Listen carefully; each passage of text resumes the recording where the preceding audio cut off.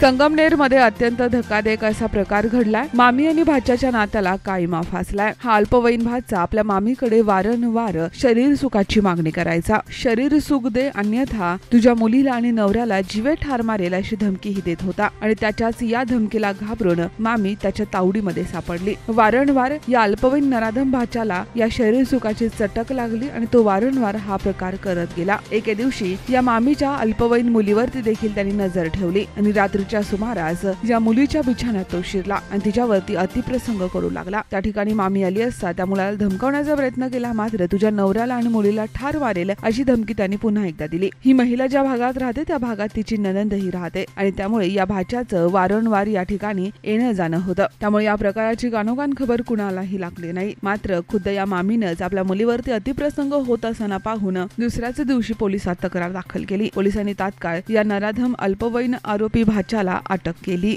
bureau report news today twenty four Sangamner